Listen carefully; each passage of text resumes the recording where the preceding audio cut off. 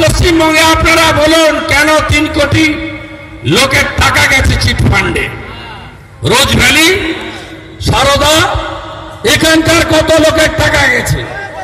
Cheat ফান্ডে? কেউ ফেরত পাননি? মাননীয় আলকেমিস্টের চেয়ারম্যান কেডি সিংকে রাজ্যসভায় পাঠিয়েছেন।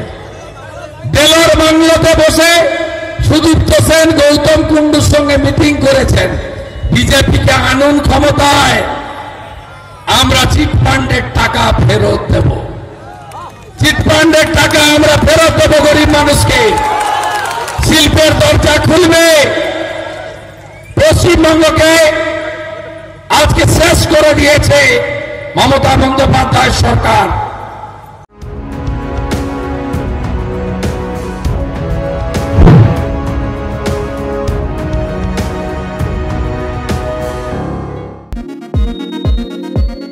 সমস্ত খবরের তৎক্ষণাৎ আপডেট পেতে সাবস্ক্রাইব বাটনটি ক্লিক করে বেল বাটনটি ক্লিক করুন।